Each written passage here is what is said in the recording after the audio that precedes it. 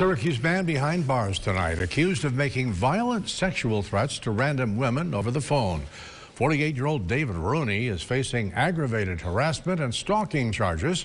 The arrest comes following a joint investigation between state police and the Onondaga County District Attorney's Office.